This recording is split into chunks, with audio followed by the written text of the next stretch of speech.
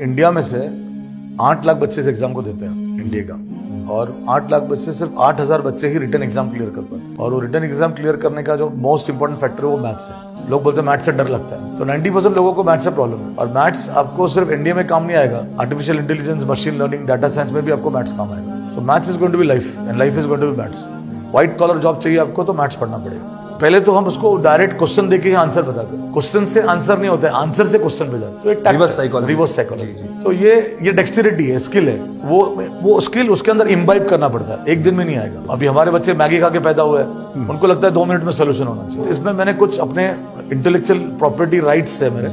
चांडाल चौकड़ी मारा मारी अमर अकबर एंथनी। ये जो टर्मिनोलॉजी जो बम्बैया लैंग्वेज मैंने इसलिए यूज़ किया कि बच्चे मैथ से कनेक्ट हो जाए। तो अमर अकबर एंथनी फ़िल्म में एक ही माँ के तीन बच्चे फॉर्मूला भी एक ही है पर उसके वर्जन अलग है।